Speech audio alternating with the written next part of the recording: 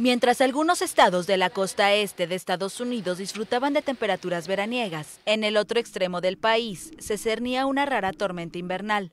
En el zoológico de Oregon, dos osos polares disfrutaban de la nieve.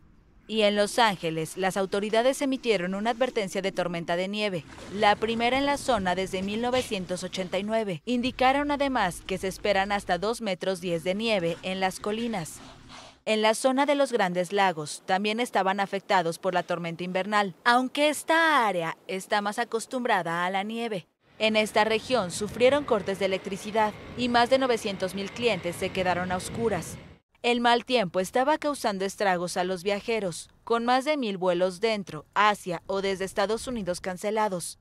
El noreste del país también estaba bajo aviso de tormenta invernal, con difíciles condiciones para viajar en algunas partes del estado de Nueva York incluyendo Búfalo.